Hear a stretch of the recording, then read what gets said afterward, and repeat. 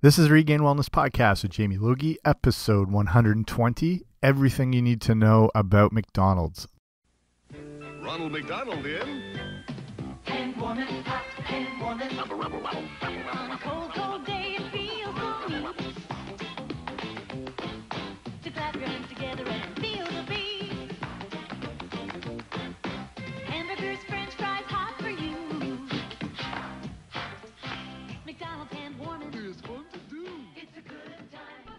Hey guys, what's happening? Welcome back to the podcast. I'm Jamie Logie. I run regainedwellness.com, and this is the Regained Wellness Podcast. And if you're new here, thanks for coming on out. Um, I've got a whole bunch of previous podcasts, interviews, everything you could think of nutrition, fitness, health wise.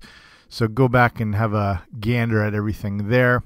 And if you haven't already, make sure you subscribe. Basically, anywhere you get podcasts, I'm pretty much there. iTunes would be the go to, but um, I'm on like Stitcher Radio, iHeartRadio, uh, Google Play Music. Pretty much, yeah, anywhere you'd search for a podcast, I should be there. If I'm not, let me know and I'll make sure I get there. So today is all about McDonald's and started off with a classic 80s commercial. I Don't know if you remember that one, but uh, you can find these all on YouTube and they'll just have commercials through the years, through the 70s, 80s, and hilarious stuff. So I'll kind of break it into two parts. The first will be more of the history of McDonald's and how it came to be, which is actually a very interesting story. And I don't know if you've seen have seen the movie The Founder, which was out uh, like less than a year ago. It's got Michael Keaton in it, um, Laura Dern, Nick Offerman, and it's the the story of McDonald's. I think it's on Netflix now, depending on when you're listening to this. Um, it, it's an amazing story. It's a lot of um, shadiness and kind of uh, I don't know backhandedness by Ray Kroc, who's technically the founder. But I'll explain all this, but um, yeah, amazing movie. And then I'll get after that, I'll get into a you know more of like the nutrition issues health issues some obscure facts this show could be 10 hours long. I'm going to try and condense it as much as i can just to kind of give you the um, high points on everything. But i think it's just worth looking into because as you know we're aware of the issues with fast food and mcdonald's you know by well i guess you don't want to say no fault of their own but by kind of by design they lead the forefront of all fast food. They always have. So it's you know they're not immune from being looked at more deeply and just kind of peeling back the layers a little bit just to get some more insight into something that's been a part of everyone's life you know mine your yours wherever you live in the world mcdonald's is there you've experienced it you know exactly what we're talking about it's probably one of the most recognizable brand recognizable brands in the world so i think worth looking into so okay let's get started with uh, a bit of the history so with McDonald's, here's where we're at now. At the moment, there's around 30,000 locations. Um, they're in more than 100 countries. They collectively serve around 52 million people every day. They figure that at least 1% of the entire population of the earth is eating McDonald's every day, which is kind of baffling. Um, you know, like I said, one of the most recognizable brands on earth. Um, they one marketing firm found that in a survey of about 7,000 people in countries like the UK, Germany, Australia, blah blah blah everywhere more people could identify the golden arches of McDonald's than they could identify the Christian cross.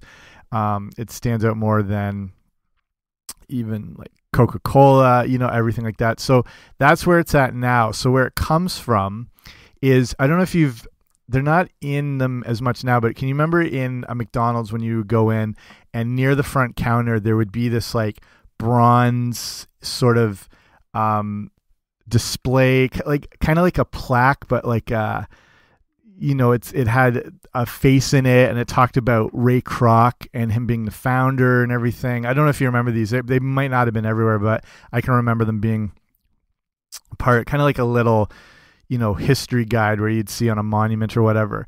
And that's the little thing you might have wondered why the founder of McDonald's was not named McDonald. So the story goes back into almost into the 30s, and the real McDonald's was started by two brothers named Dick and Mac McDonald. And I don't know who in the world would name a kid Mac McDonald, but that's just hilarious.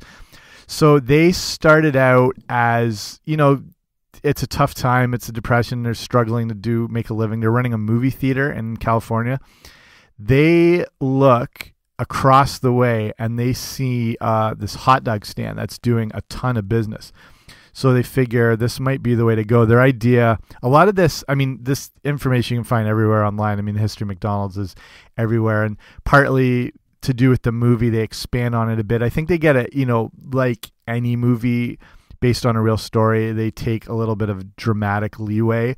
Um, and their idea was that you know depression or not people still have to eat and people still want to you know sometimes treat themselves and go out and um, just to kind of get through the malaise of what they're going through in this era and depression and you know so they they think this might be the way to, way to go so they take a $5000 loan and they start what's called the airdrome hot dog stand in 1937 so in 1940 they move it um, where are they in Ar Arcadia? They move it to San Bernardino.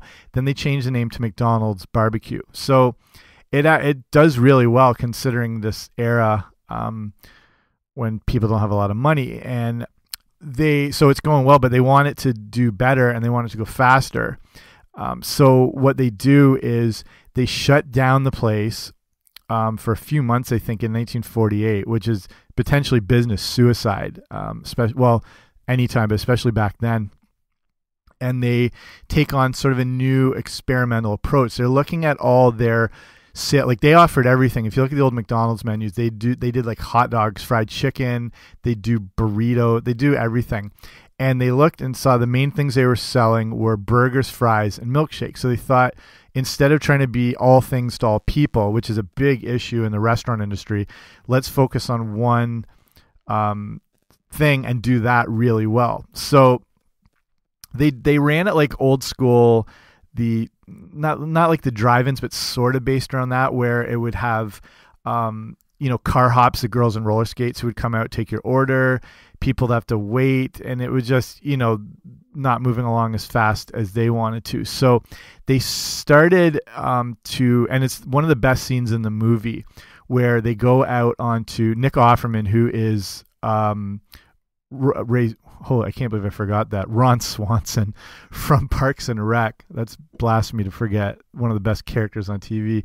So Nick Offerman plays one of the McDonald's brothers, and when they shut down, they go out and try to like reimagine how to more efficiently run um, a restaurant. So they go out to a tennis court and they start in chalk drawing the outline of the kitchen and where you know the fryer would be, where the drink machine, whatever, and they would go up on a ladder and have the staff like do a mock service and or you know cooking and working through and seeing what would work as best as you know most efficient for position and time and using the space they had. And they would keep redrawing it and redesigning it till they had a very structured system that was not um, wasting any energy. So, you know, the one guy would, you know, finish the burgers, turn around, the right guy would be there. They would have this special machine they created that would hit it with five sort of splots of ketchup and mustard. There'd be a pickle guy, he'd hit it with two pickles,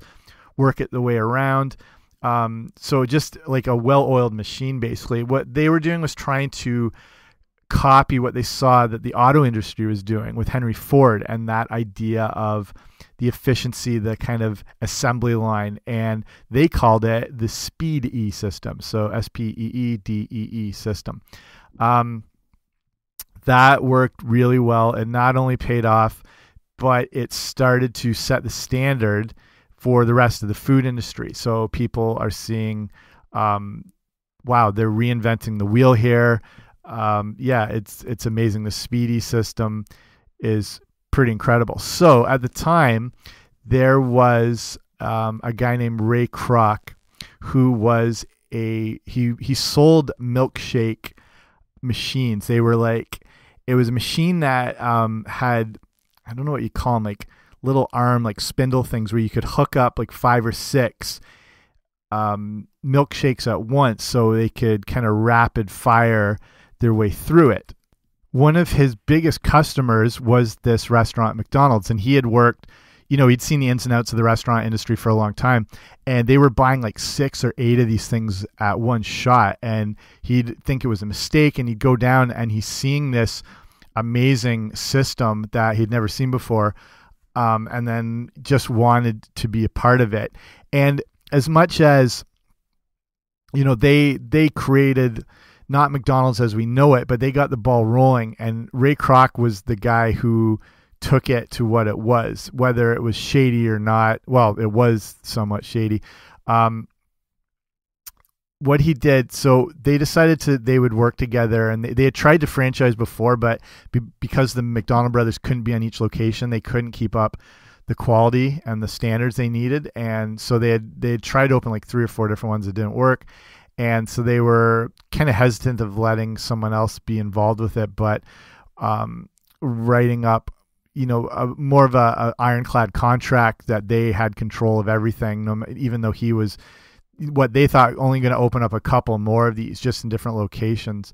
Um, so the problem was he starts it up you know it's going well like the people love this sort of new fast food movement but he wasn't bringing in enough revenue from his franchise restaurants so part of his trouble was in getting the funds to pay for the land and the building for the restaurant. So, in order to maintain control over the operations, Ray Kroc needed to franchise one store at a time rather than a whole slew of stores over a particular area or like geographic zone, which is what other food chains would normally do. So, you know, usually, although the other food chains could attract big investors, the franchises um, or franchisees Ray Kroc attracted didn't have the funds to pay for the land and the building. So that's where he started to kind of, you know, wrap his hands around this whole um, evolution. Um, so he gave um, ultimately, like he was trying to control the land, uh, owning a company that controlled the real estate that the franchisees or and even the McDonald's brothers themselves couldn't uh, get past because they own the building, but he controlled the land, so they'd have to pay the rent. So he was kind of running two businesses at the same time. Um, and he took the success and the leverage he needed to get the loan uh, to basically buy out the McDonald's brothers in 1961. The franchises were going up so quick. Like 1963, they well Ray Kroc opened his 500th McDonald's restaurant. So they were, you know, they were only pitching like picturing maybe like five or ten would open, and then he had the idea of taking this whole thing national. Like he he knew it was a good product, and the way he figured he could take control of it was by becoming essentially a real estate company um, and owning land all over the place, so he could get franchisees to buy locations because they didn't need as much startup capital because he owned where they were going to build. And so basically, he had his hand in every single place. Whereas opposed to today, where someone can just, um, if they invest a ton of money, they can do whatever they want. They buy the land, they buy the building, but he kind of had a control over the whole thing.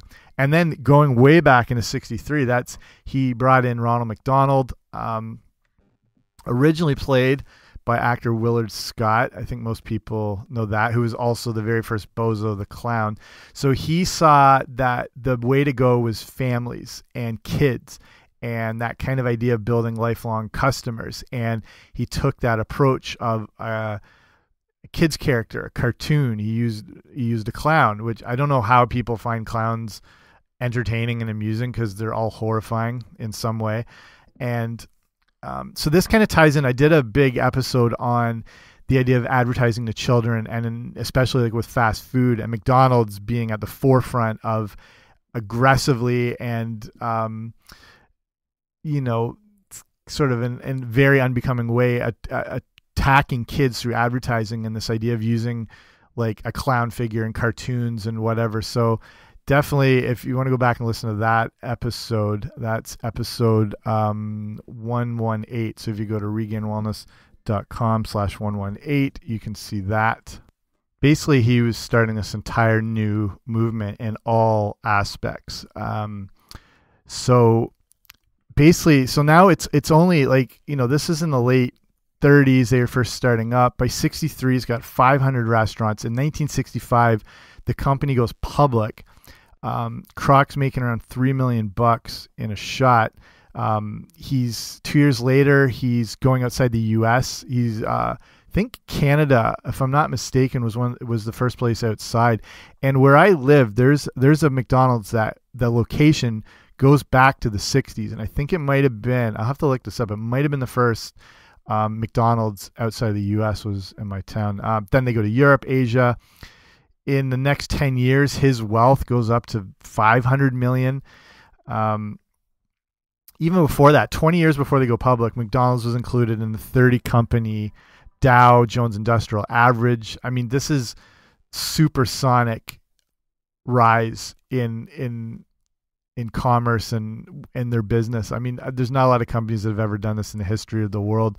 Um, they talk about that the company, you know, was a wise investment back in the day, and they would talk about in 1965 the idea of offering stock to employees um, because they they could see this growth. They're saying around two thousand dollars worth of stock in 1965 would be, you know, translate to upwards of three million dollars today. So I mean, it just like an unbelievable rise, which the original McDonald's brothers could not picture. I don't think any company could picture anything like this happening and that fast, you know, within almost like a 20 year period. Um, and them at the same time basically getting screwed out of the picture as he took over their company. Um, they couldn't do anything about it. Like they tried to sue, but I mean, they didn't have the money to do it or the overhead costs or anything like that.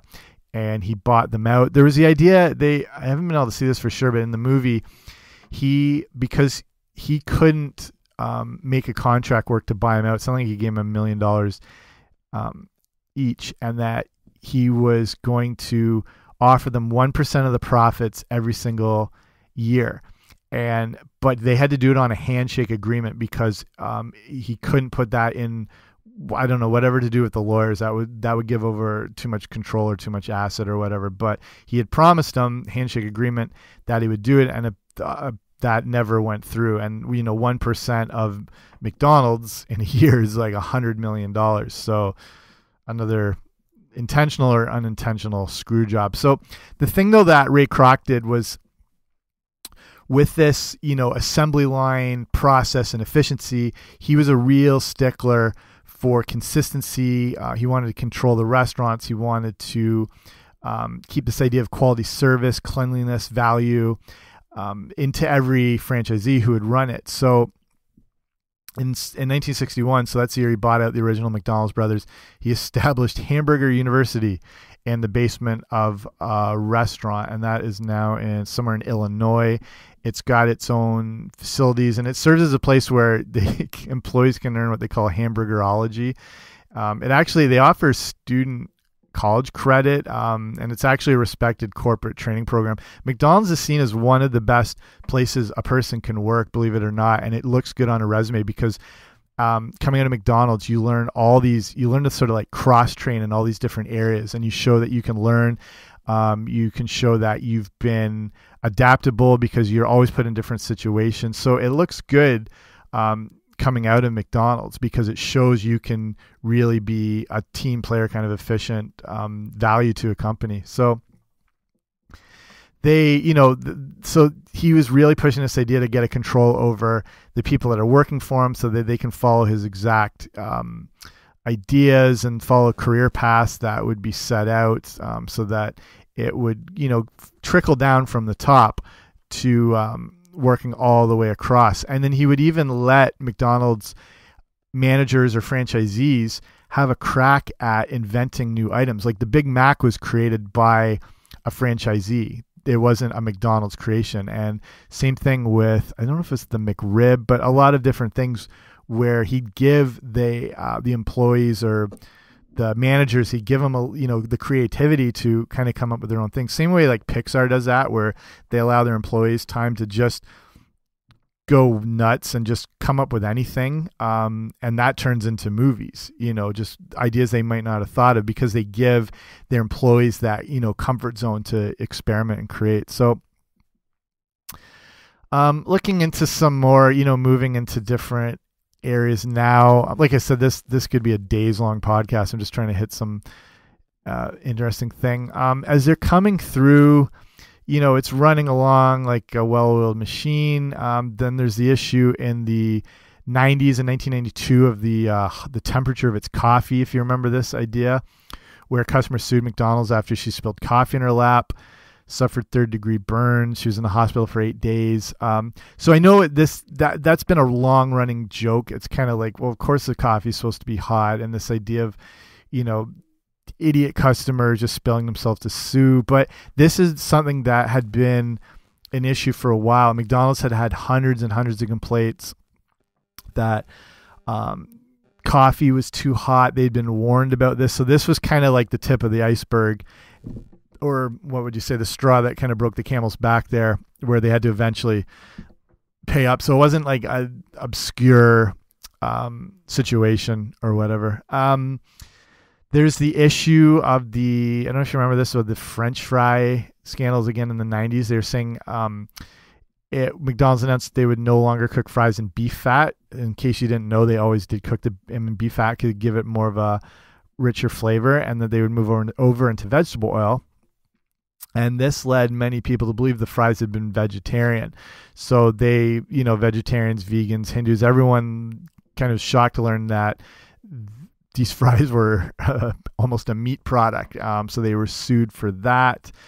McDonald's points out they never claimed the fries were veg vegetarian, but it was just one of those things. But that's you know what they said made their um, fries so good. In 2002, what they ended up paying out, I think like 10 million dollars um, for this whole issue, which is you know a drop in the bucket for a giant corporation like that. And I mean, they they settle so many things out of court on probably a daily basis. Um, but it's not the worst thing for them because that idea of scandal is still, you know, almost there's no such thing as bad publicity. It always keeps them in the news. It always kept them in the news.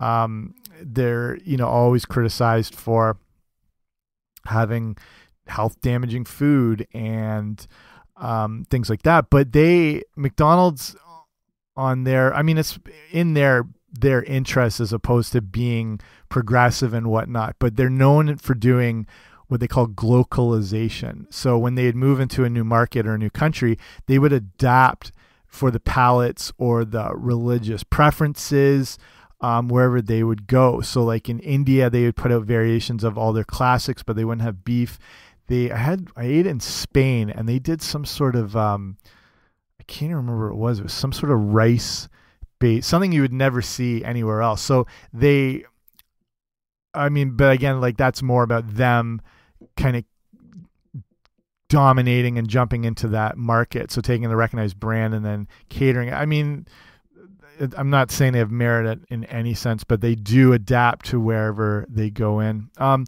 they're really good for the Ronald McDonald House. Um, so that I don't if in case you don't know that that's the, their charity they do. So it offers um, housing and lodging to parents so they can be close to a child who's receiving medical treatment far from home, and that's amazing.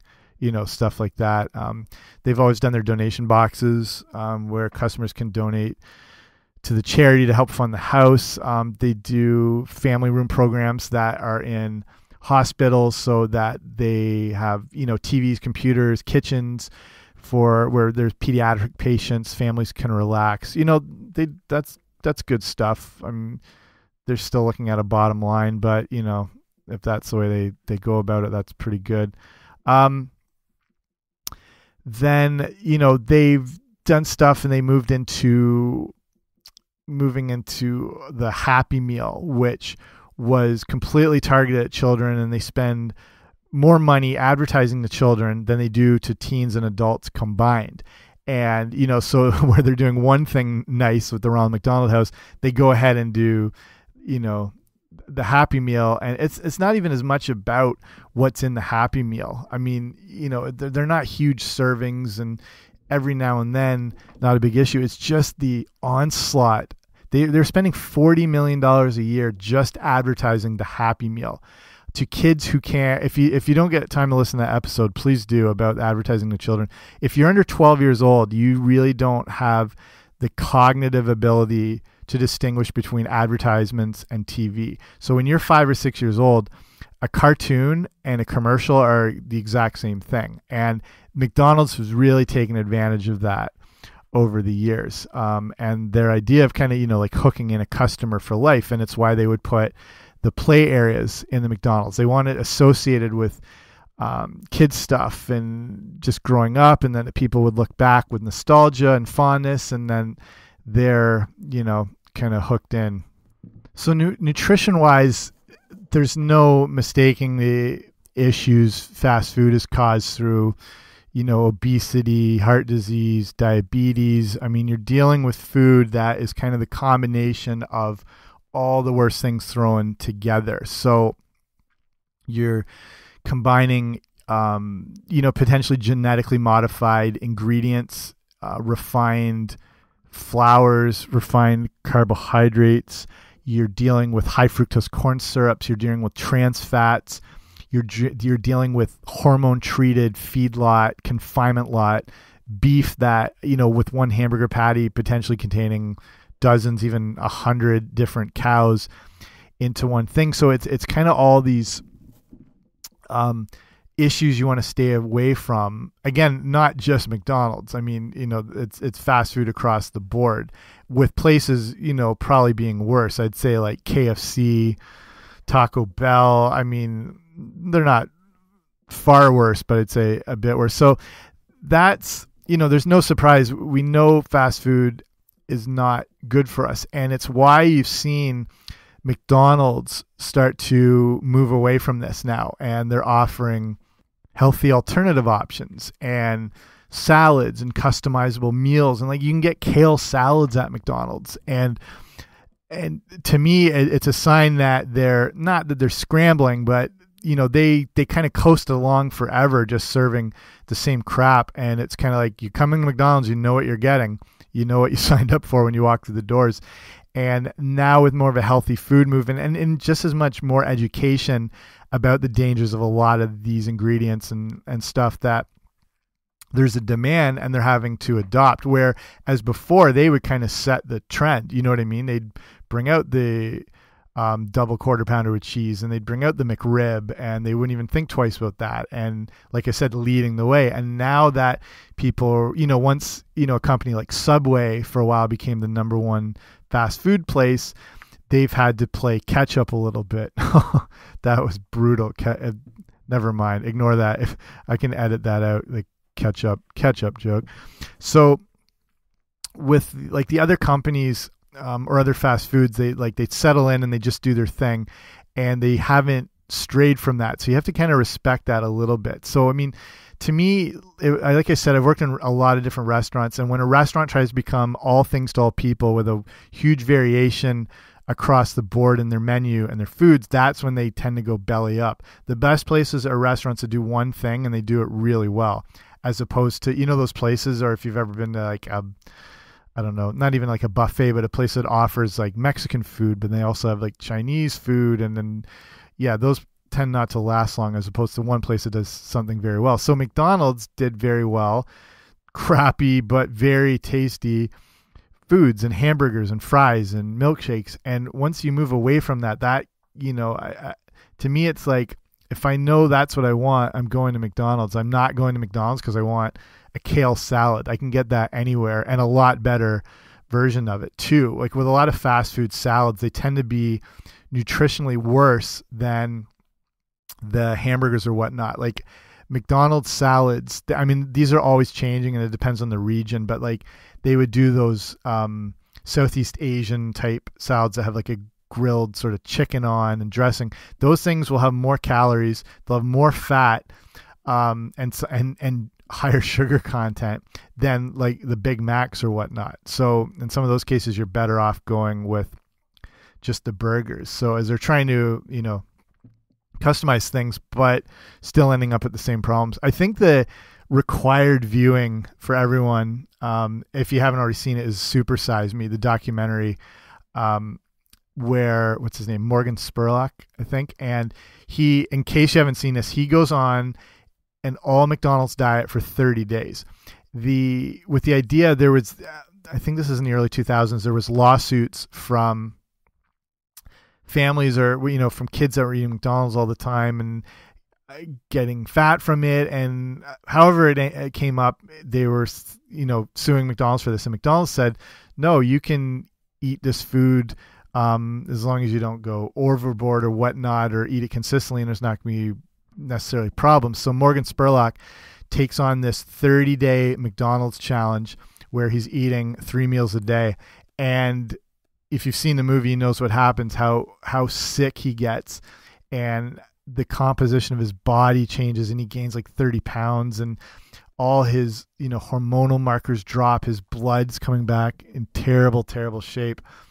Um, all because of McDonald's, and you know they're they're not saying it was he healthy, but they're saying oh it's not doing the damage you think, and this is what happens after 30 months. I mean, you, you've probably seen this movie. If you haven't, definitely watch it just to kind of get an idea where it's at. So, like I was saying, ultimately, they're in the business of junk food and crap. And as they try to evolve, who knows where it'll go to? With so many other options out there, are they better just sticking with what they did before, or is in ten years from now, are they even, you know, not even going to offer fries or milkshakes anymore and convert the whole thing? It'll be very interesting to see uh, kind of what happens. So, some of the specific issues with foods and ingredients. So, the biggest one right off the bat, and probably you don't need more past this, is that the food has no biological value. That means there's no, you know, it might be made of quote unquote real ingredients, but the way it's so processed and so full of additives and essentially preservatives um, make it that you're really getting little to no nutrition at all from them. And like when I say biolog biological value, that's basically meaning the realness of food. So like if I leave an apple core out on the counter, it's going to turn brown, it's going to decompose, it's going to rot. That's biological value and um, moisture content, and that's a big thing in the foods. McDonald's food has none of that. So it's why their food basically never rots or breaks down because it's so devoid of real nutrients and real nutrition. And it's like if you've you know you've found old fries in your car, they could be two years later and they're the exact same. They don't break down. But if you made your own fry at home out of potato, it's gonna rot and decompose a bit. Same thing with the burgers. There's no moisture. There's nothing in them. You can leave them out on the counter. The, I'll, I'll, put some pictures up. If you go to the show notes today, which will be regainedwellness.com slash 120, so 120, um, I'll put the pictures of where uh, people do this, where they've left out a burger you know, for six weeks, six months, whatever, and just show the the transition of the photos over the time, and nothing happens to the burger. They won't. You can even put if you're outside, put a McDonald's hamburger down or fries, and no bugs or flies will land on it. Where they'll land on anything that's um, because it's, it's not recognized as real food. Like even insects don't acknowledge this as being something real, and you can put it down. So I'll put some of those pictures up where they they do this in Super Size Me too. I think it's in this special or the extras or whatever the extra scenes where they take a real burger and real fries um, and then McDonald's one and their fries, and they keep them covered and they check back every couple weeks, six weeks, whatever. And the real stuff, you know, rotted to all hell, and then the McDonald's stuff, absolutely no change in it. And that's because of the amount of additives and preservatives and chemicals and stuff that basically takes out all the nutrition. Um, huge amounts of salt and sugar uh, you know like there's sugar in burgers you know like in the bun like their their fries i think have 14 different ingredients that make up what they put into it um that's i mean the you know sugar in burgers like anything they can do to make the meals more tasty to give them more mouth feel um that like our, our mouths really desire and crave like that fat feel um and that can be accomplished not only with the fat but with sugars as well too. Um, the interesting thing is, though Ray Kroc was I think pretty much um, somewhat OCD because he had this real obsession with cleanliness and whatever, which is very good in a restaurant. But he kind of coined that phrase: "If you have time to lean, you have time to clean." Which, if you work in a restaurant, is probably making you violently ill hearing that. Um, so they would be super hygienic, but at the point now where they're very like say on top of keeping bathrooms clean and whatnot, they neglect sometimes other things and they're finding that there was 70% more bacteria in the drink machines than the toilets in a McDonald's because they wouldn't keep those machines necessarily as clean. And that's the problem with um, things that have a lot of high contact with sugar is that they can develop mold and bacterias um, and just you know kind of get worse over time. It's the reason like cola based drinks like coke and everything they use um, phosphoric acid because it helps that amount of sugar um, like i said can lead to too much bacteria developing. The phosphoric acid helps kind of negate this a bit um, and it's also gives kind of that bite flavor that sharpness to drinks but it's so um, potent that um, it can be used to remove like lime scale from toilet bowls and it can actually break down your bones um, and even your teeth and stuff. So that's a trade-off there Let's talk about chicken McNuggets. Um, they were kind of invented to be a snack size. They're supposed to look like the size and shape of your thumb to um, be more of like a playful type toy. They invented Birdie, the flying bird. Um, I don't know actually if she was, she might have been more associated with breakfast foods. Whatever. Anytime they'd roll out different foods, they'd bring in different uh, characters. Like I think Grimace was the uh, milkshake whatever you know watch watch these i'll put some of these old mcdonald's commercials up where they're actually kind of terrifying some of them so chicken mcnuggets um not surprisingly there's very little chicken in the nuggets. They're kind of like a chicken mash that's combinations of who knows how many parts of different birds. Um, pretty much they're mostly fat connective tissue and even some bone in there. Um, they're they're stored frozen until they're ready to use. And again all those chemicals help keep them fresh. They use one which I can't even pronounce. It's let me try it. T butylhydroquinone. So TBHQ, and it's um, part of you know made up of different things like acetone, um, alcohols. It, it's a preservative to keep things fresh, and these compounds can cause you know liver issues neurotoxic effects um, all kinds of stuff. Um, the milkshakes i don't know if these are as big now. I don't know if people go to mcdonald's for milkshakes but if they do they're they're a handful of ingredients but and they sound pretty much um, benign if you exclude you know the coloring preservatives. But the big thing is one of the ingredients is called artificial flavor. Not surprisingly, lots of products use those things. But what they do, what fast food companies, actually a lot of um, junk food or whatever, is they can combine a ton of different ingredients and then put it under one category and then only have to list that as opposed to having to put all those individual things. So with like Burger King was known for this, like with their strawberry milkshake, it contained artificial strawberry flavor.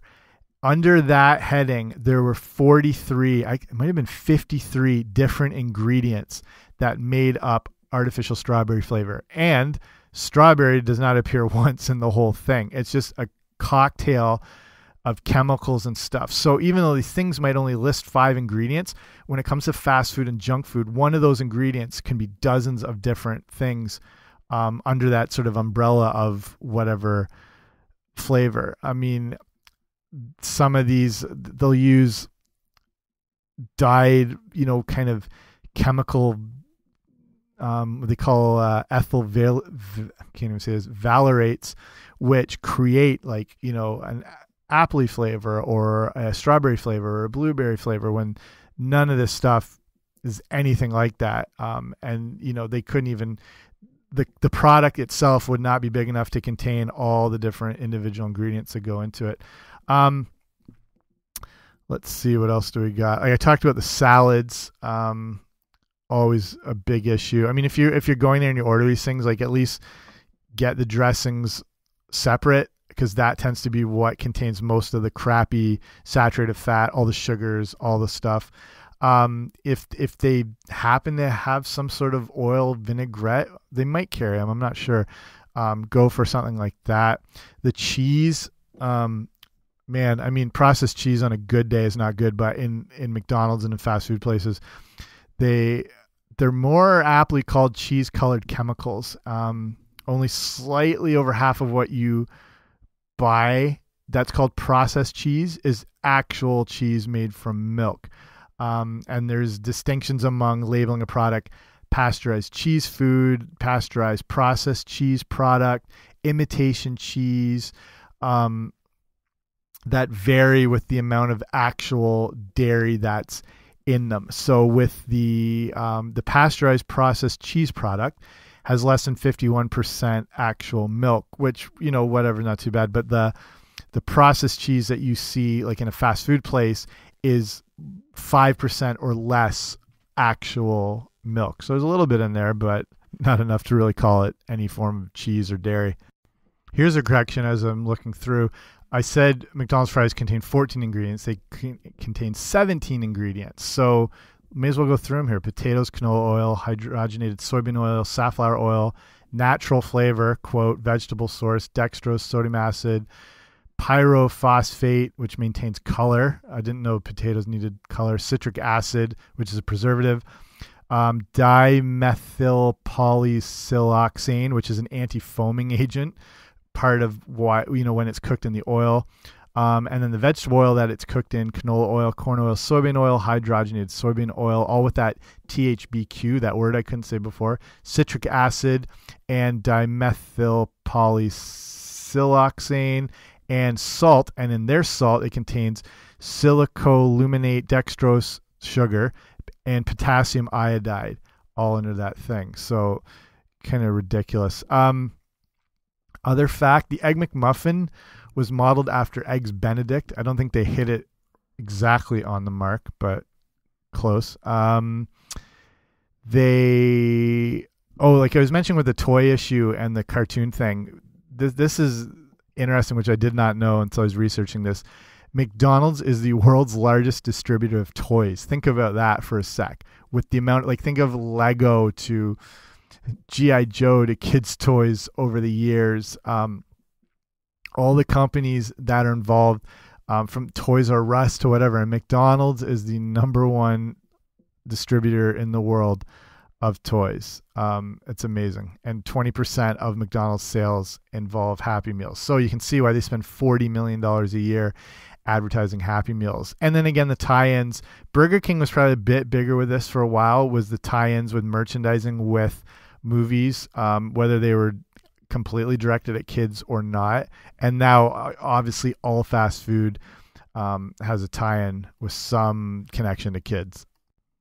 I like the uh, fact here that the Filet-O-Fish, which probably the most disgusting item if you think about it, fast food fish, was created because um, at the time period, I don't know if this is in the 60s again or in the early 70s, where people were maybe a little more um, committed, you know, as far as the Catholic Church and then um, eating fish on Fridays, if you're familiar with that. And they McDonald's they were actually noticing that their burger sales would go way down because people were a little more um, I don't know consistent with that sort of thing. So they invented the Filet-O-Fish to kind of you know bring back that crowd a little bit. Um, and then they were going to replace it after a while when people were whatever not as adamant on having the Friday fish thing. They were going to um, replace it with something called the hula burger, which was just going to be a slice of pineapple on an uncooked bun, um, which is hilarious. Um, just a few other there's so many of these random facts but a lot of them I find amazing they were mcdonald's had this big push in the 90s where as there was growing fast food competition and you know the different ways to market were starting to change it wasn't the the same old you know commercials on tv and people's interests were going different places you know back then, let alone to now. They so what they were going to do was trying to pay rappers to drop the name Big Mac in their songs because the Big Mac the sales were plummeting for whatever reason. So the deal was that they were going after all the big time guys, you know, like Tupac, everyone back then. So the idea was they were going to make rappers were going to make five dollars every time a song mentioning the Big Mac was played on the radio, and they would track that whole thing, which is a lot of money if you think about it. But no rapper, not like Jay Z, Notorious B.I.G., Ludacris, and no rapper was willing to take up McDonald's on that. And if you think about rappers and hip hop, are the biggest sellouts in anything like in the music business in any form of entertainment. They, you know, would look at them promoting like vodkas and cars and like all kinds of crap, and no rapper wanted to take on McDonald's, so that one hurts a little bit. They um they've stopped tracking the burger count. If you remember, they'd say you know over 99 billion served, and I don't know, like if you listen to Jerry Seinfeld's thing, he's like, okay, I'll take one. He's like, who are they trying to impress with the 99 billion served? So now they've stopped um, counting, and now they just say billions and billions served. And I don't even know if the places say that anymore. And we can't talk about McDonald's without remembering in the mid-ish 90s McDonald's pizza. Do you remember this? I don't know if the like I live in Canada. This was across North America. I don't know if this was a worldwide thing per se, but they McDonald's did pizza. And as a younger, I think it was like 15 or 16, I actually thought it was pretty good. They it was kind of weird. They had this weird sort of onion based crust, and they brought in. I don't know if you remember this marketing campaign that went out, and all these McDonald's had the big um, pizza cooking oven things that are now in these like massive landfills all over the place because I don't even think it lasted a year. And you could get a personal size one and a family one or a bigger one and they so like i said i thought they were okay but it's kind of hilarious to think that mcdonald's did pizza and it didn't work because it took way too long to i think it was up to like 20 minutes to get one of these things cooked which in a fast food restaurant does not work um, and they couldn't you know just maintain it. Is it the reason you know people always wonder why doesn't mcdonald's do hot dogs?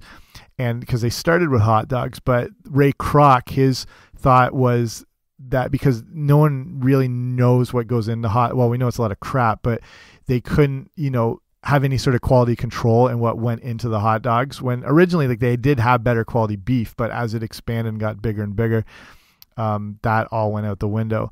And that they couldn't you know maintain the quality in the, what was potentially going into the hot dogs which is kind of funny because now when there's no quality going into the food hot dogs could have just slip right in again. I don't know why that's something they never um, got back into. I don't know if there's just a that demand for hot dogs is just not there. Okay, I'll probably wrap it up here. Like I said, I can go on forever. Maybe I'll do another show on more McDonald's facts and and stuff. But there's a lot of crazy stuff out there. So, but if you've listened to this, go and check out um, the show notes. So that's just information on what I talked about today on my website. So it's regainedwellness.com slash 120. And I'll, I'll link up some of those images I was talking about. Um, some of the, like the other podcast I mentioned about the, the advertising the children thing. Maybe I'll throw a few of those, uh, YouTube commercials up there. So a little bit everything to check out after. And while you're at it, if you haven't already, you can sign up for the Regained Wellness newsletter. So it's an email I send out only every couple of weeks, and it's just got, you know, nutrition information and education I think you'd find relevant. Um, stuff I basically only share over email. Um, and it comes with a free, there's a free ebook when you sign up. It's just a short guide that's got a little more information on foods you want to be including, um, things you want to be avoiding, and why I talked about a bunch of them already today, but a little more insight there. It's got some recipes, and you can get that um, when you're at so regainedwellness.com slash guide, and you can just throw in your email, and it's all done there. Okay. I'll end it up here. That's enough McDonald's for one time. Thanks for listening. Um, like I said, if you're new here, make sure you subscribe. But I appreciate you stopping by. I know there's a ton of different podcasts out there, so the fact you're listening to this one that means a lot. So I appreciate it, and I'll talk to you soon. Bye.